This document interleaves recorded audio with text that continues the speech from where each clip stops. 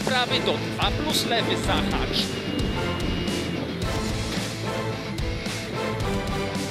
Do 5 lewy szczytem 60.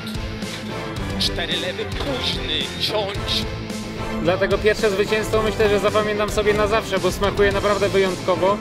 E, Trochę mieliśmy stresowych momentów. E, Tutaj według jakiejś tam mojej prognozy miało padać na ostatniej pętli, a jak widać się to do końca nie sprawdziło. E, Nie, do, nie dobraliśmy z tego względu najlepiej opon, ale z drugiej strony bardziej mnie to cieszy, bo ładna pogoda dla kibiców. Nie zmokli chociaż, także dla mnie to było bardziej istotne.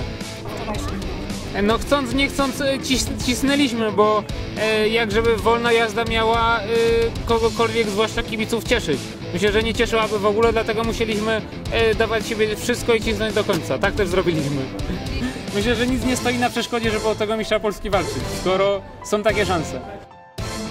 Bardzo Wam wszystkim dziękuję.